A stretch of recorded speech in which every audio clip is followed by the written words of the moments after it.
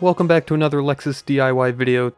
Today I'm going to show you how to take apart your throttle body, clean it, and put it back together. The reason why it's important to clean your throttle body is because a clean throttle body has better throttle response, a smoother low idle, and also improved fuel efficiency. So use a ratchet with a 10mm socket to remove the two nuts holding on the Lexus cover. It would also, be cool if Adobe didn't uh, have a one second feedback loop so it kept interrupting me while recording my voice because it's really annoying.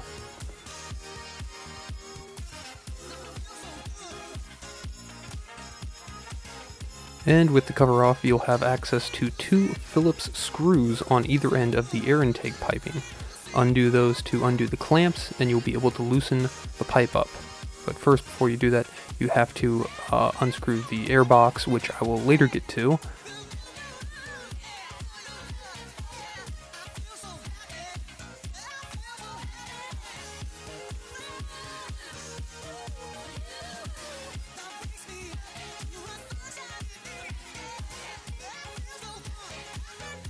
So on the airbox you have two evap pipes, one here and one here.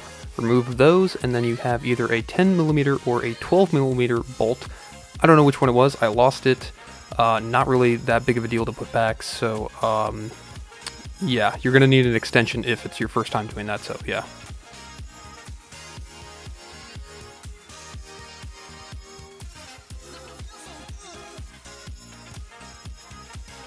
So once you get the evap pipes off, you can start by wiggling out both ends of the socket of the air intake, and with that you will have access to the front of the throttle body. Also, a good tip of advice, do what I'm doing in the video and retighten the two uh, clamps, just to make sure you don't lose them when you set aside the air intake.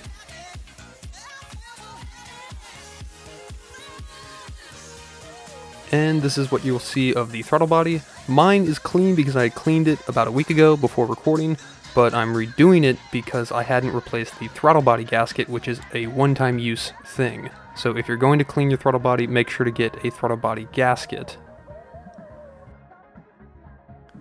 So to gain full access to the throttle body, you're going to have to remove a few hoses and some connections. This is the slightly abridged version in which I remove about two-thirds of the connections, uh, a few EVAPs, the PCV valve, and the plug sockets. Also note that some of these hoses do contain coolant, so there will be a slight, very minimal coolant loss. So, like I've said in previous videos, the age of this car definitely affects these pipes, uh, some of them will be very stubborn to remove, but thankfully uh, some of these you do not need to remove because they will not impede your ability to remove the throttle body to access it and to replace the throttle body gasket. Also, don't forget to grab a towel because the coolant pipe will squirt when you pop it off. Money shot.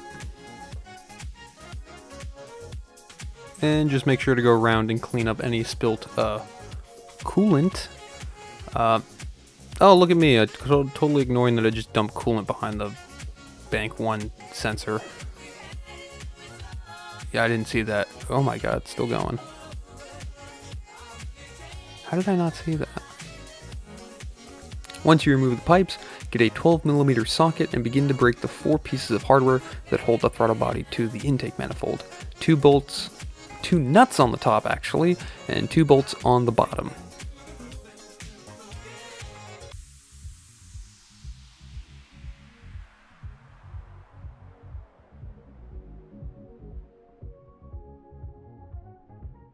And as you can see, you may need to get an extension to reach those bolts as it's a little tight to get to the bottom too.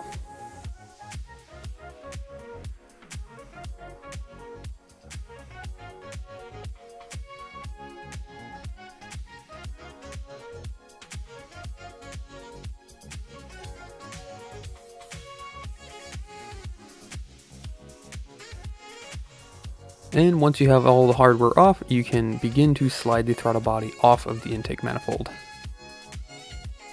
So once you begin to pry off the throttle body, you can see how dirty it is behind it. Again, I'd cleaned mine a week ago before filming. I'm only doing this to take out the throttle body gasket and replace it, because it is a one-time use gasket. So slide off the old throttle body gasket, don't bother cleaning it, chuck it. Um, my car's 20 years old at the time of this filming. It, you know, old rubber is not going to hold up. You need a fresh gasket.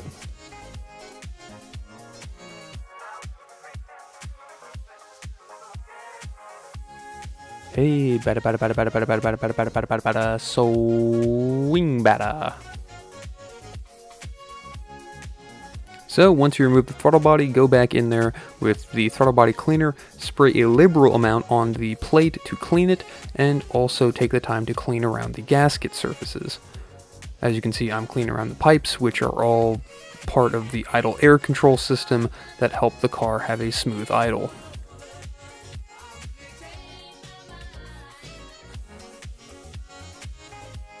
So crack open the new throttle body gasket, line it up, and slide it back on.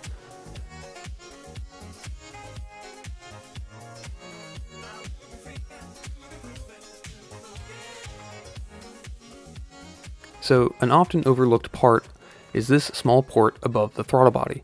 Two Phillips head screws get you access to the idle air control.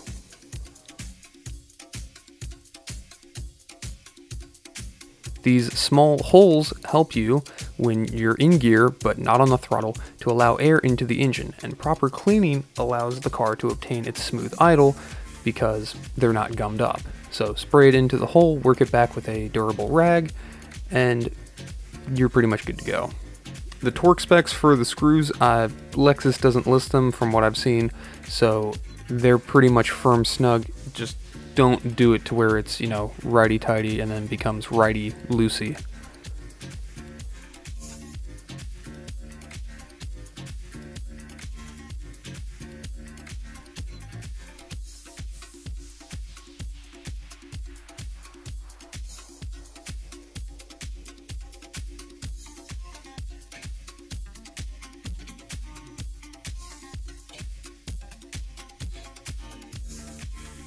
With the throttle body properly cleaned and the new gasket installed, begin threading the bolts in the bottom and the two nuts on top.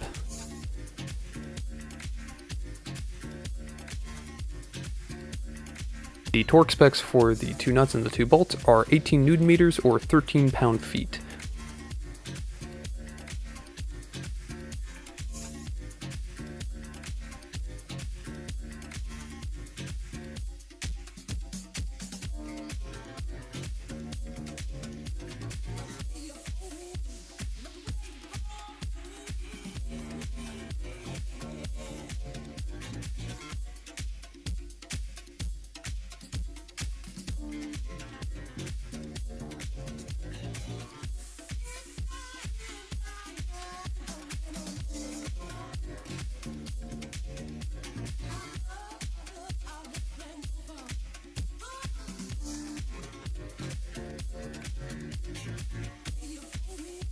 So with the throttle body torqued down to spec, begin plugging back in the hoses, your PCV valve, coolant, and evap lines, along with the throttle body plug socket.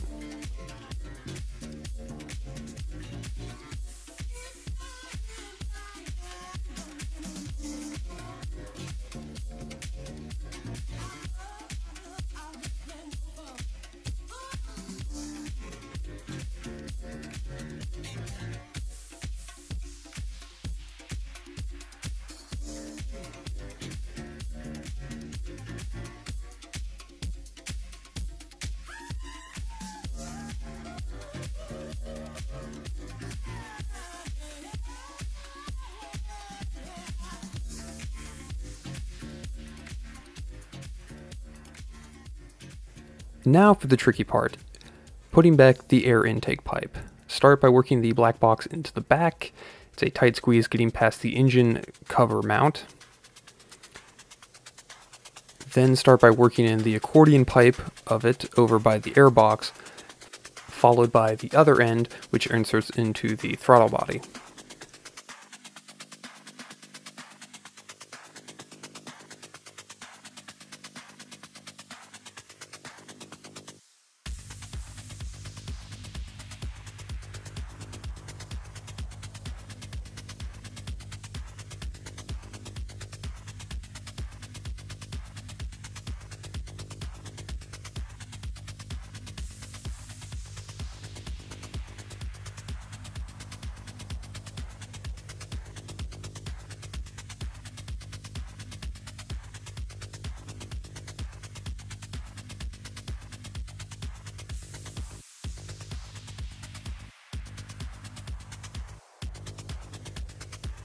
It will be tricky to get the accordion pipe on, so it is recommended that you have a bottle of lubricant to spray onto it to help it uh, slide on. And once you have it on, you can screw the clamps back in to hold it into place.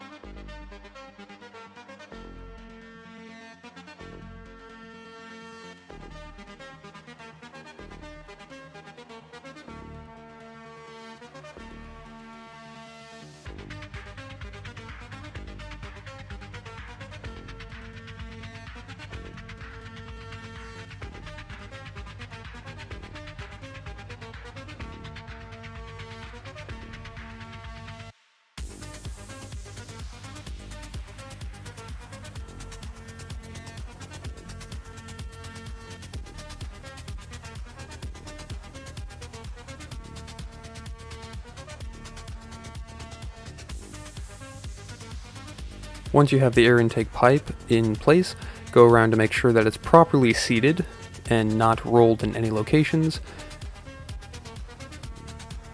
Also go over to throttle body to make sure all the pipes and plug sockets are plugged in properly.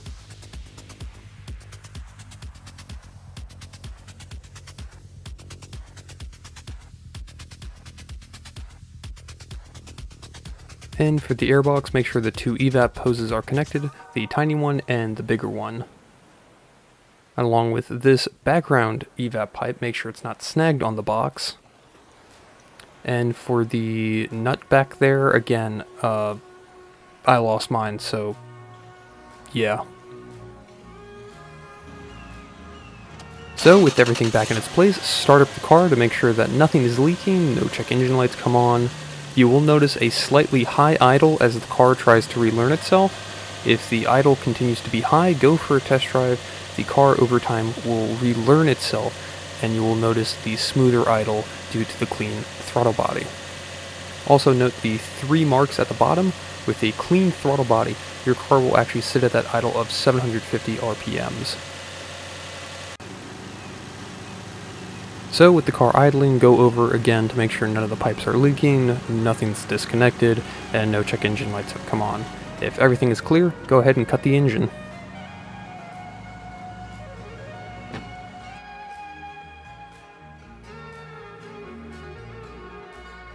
So with that, the only thing left to do is attach the engine cover, snug down the two cap nuts, and you are pretty much done.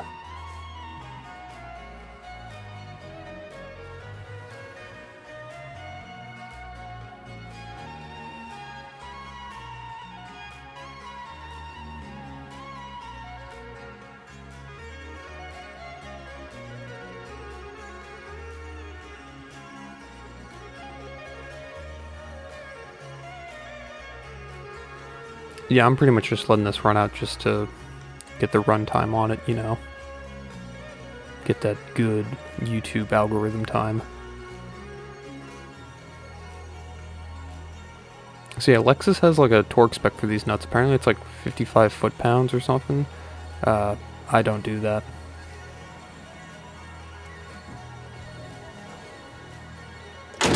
Thank you so much for watching here are some other Lexus DIY videos to watch.